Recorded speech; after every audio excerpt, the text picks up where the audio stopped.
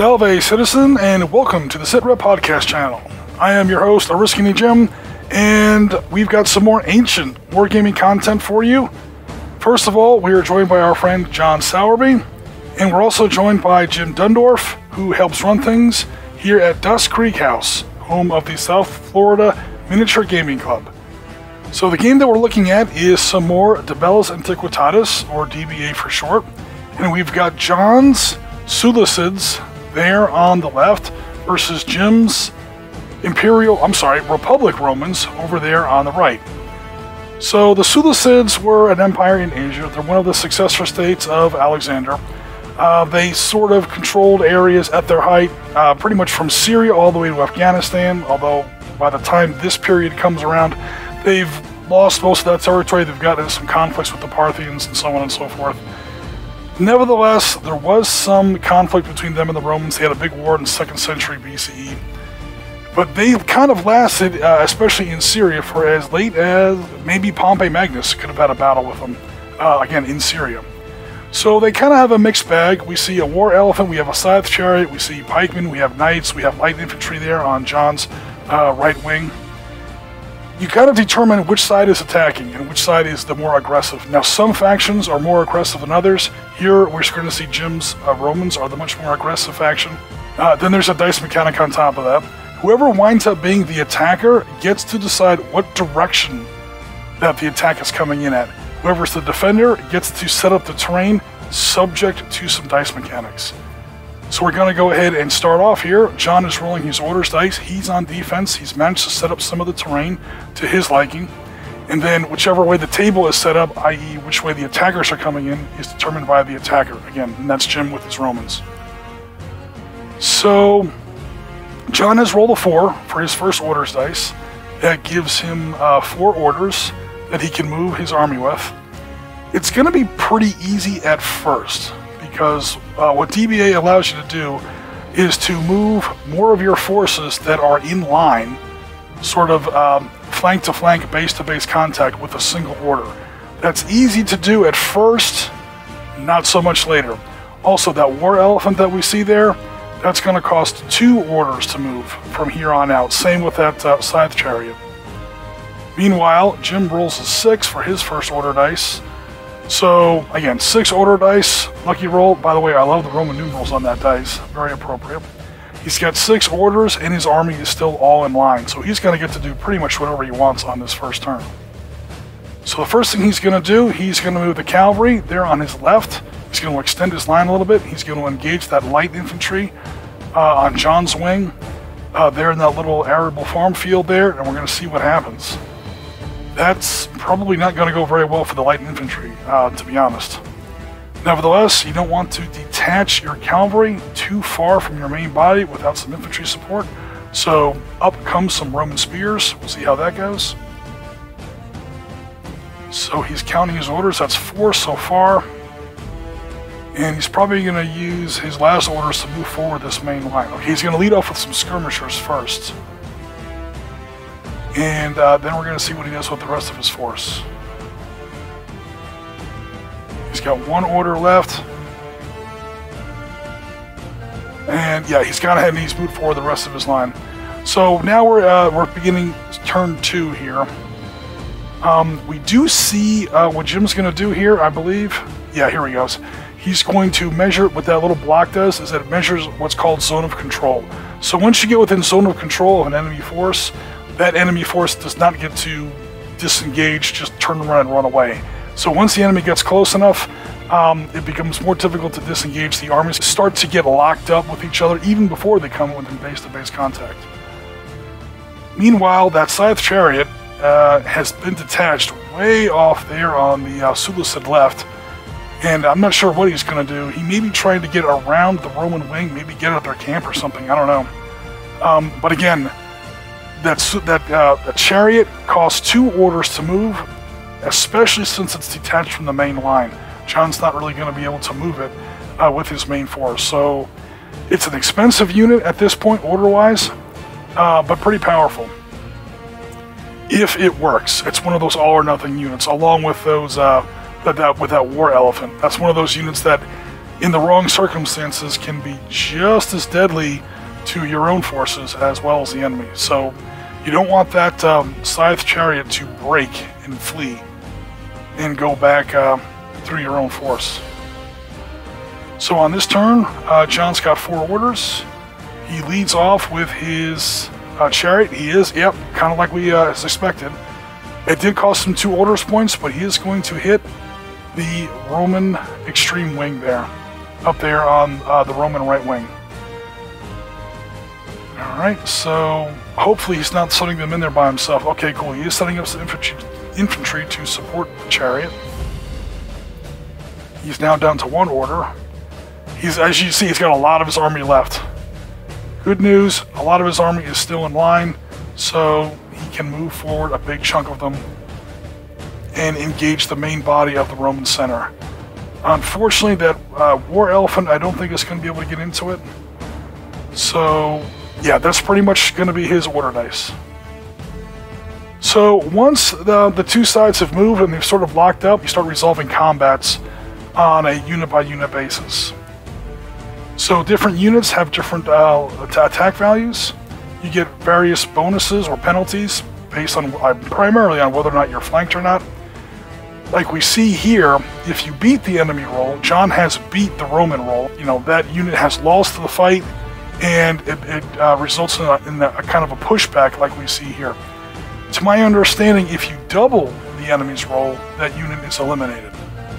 And depending on the scenario and how big the game is, it's usually about, to my understanding, four units eliminated resolves the game. Now here, this fight is going to get a little complicated because the Roman line we see there on the right-hand side is longer than the Seleucid line, so he does get some bonuses.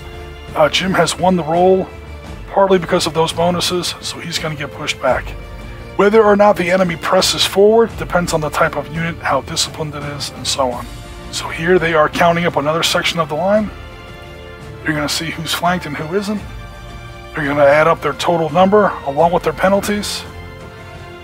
And uh, a lot of guys are rolling ones. Um, this is the third Roman Combat 1 of the game, pretty much in a row. However, with proper use of tactics and careful management of modifiers, even with bad die rolls, you can still win these little individual combats. Now you see here very clearly, especially on the Seleucid side, where the line starts to break up. He no longer has that cohesive line you know, from flank to flank that he can move with a single order. Meanwhile, the Roman cavalry has hit the light forces. Oh, a whole unit's been eliminated. Oh, man. And, uh, yeah, that's not good at all.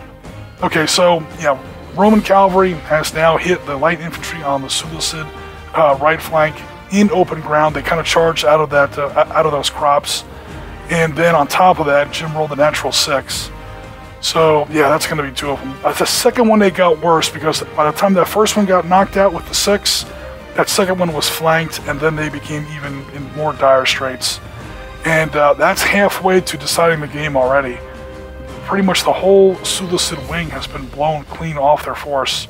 Now, the one bad thing for the Romans, or things he has to be careful of here, is that Roman cavalry is pretty far away. He may not be in command.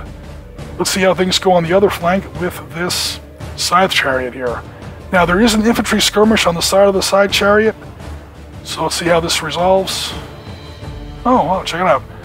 Alright, so, um, we thought those chariots were pretty much toast, because, okay, they, they are flanked by Romans, you see there.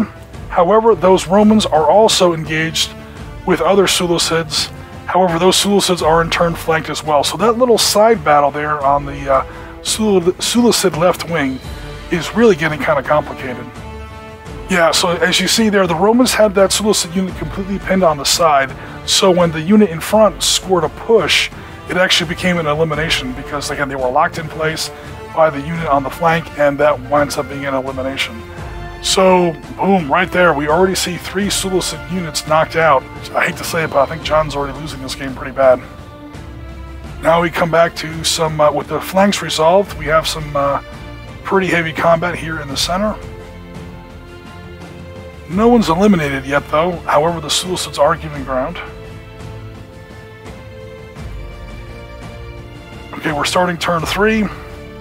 John's got four orders. So far, we've got one Roman unit eliminated, and again, three Seleucid units eliminated. So one more Seleucid unit eliminated, that's going to be game. Nevertheless, oh, check it out! The Seleucid chariot has just hit the Roman camp. Sort of the uh, squishy underbelly of his force there. Is it going to turn the game? It might not, but it may wind up forcing a draw on points. Or, again, in a tournament setting, you get points not only for winning the game, but for every unit eliminated, for any every king or general captured, or for taking out the enemy camp. So even if you've lost the game in these DBA tournaments, you can still do well by racking up points. And then at the end of the tournament, I think it's, it's calculated by a total number of points that you've won, maybe not necessarily strict wins and losses. So one thing that we do see here with the Seleucid force that War Elephant is kind of left behind, that other force way back in the backfield is kind of left behind. These units sort of get detached. And because the unit, the, because the army's line has more or less broken up, and management of orders becomes a, a really you know constraining factor, you wind up with some very tough choices, and it becomes hard. Uh, units get detached and they never really join the fight. That does make a certain amount of psychological sense, though. If you get left behind, the rest of the army goes in, and you see that line just dissolve into a tornado of bone and blood, you're not going to be terribly motivated to jump into the middle of that. So over here, we have again some more fighting here in the center. Uh, here on turn three, Seleucids continue to hold on by getting pushed and not being eliminated. Again, they can only afford to lose one more unit. Speaking of which, there it goes. Okay, now the game is kind of decided. They're going to go ahead and finish the turn. A couple things can happen. Number one, John could conceivably, mathematically, knock out three Roman units and force a draw. Or again, you can score points and determine a margin of victory. And for again, for a tournament setting, that could be really, really important. Uh, if you lose a bunch of games, but you lose them all by one point, you can actually still come out on top.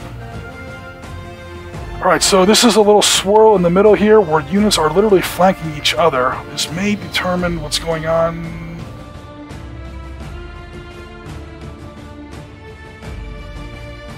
Okay, so John did get a better roll, but as we count up the factors and the modifiers, it's not enough to actually eliminate any Roman units. It will just be a push. That is now technically the end of the game. That was pretty much his only chance to force a draw there. Because even if he wipes out the Roman camp, that's only going to be like another, it looks like two units, I believe. So even if he wipes out this camp, uh, Jim's Romans will still win.